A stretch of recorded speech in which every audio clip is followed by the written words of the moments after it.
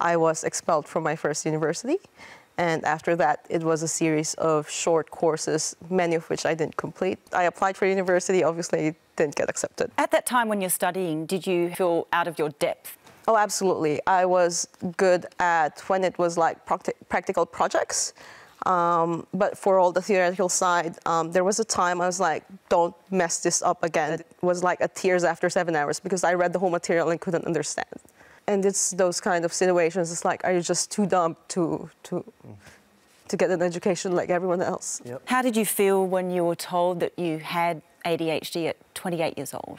It was it was such a relief. I think my partner came home and he was like, "Why are you crying?" I was in the couch. It was like I've just understood myself. It was like everything made sense. I didn't feel dumb anymore. I had a path moving forward.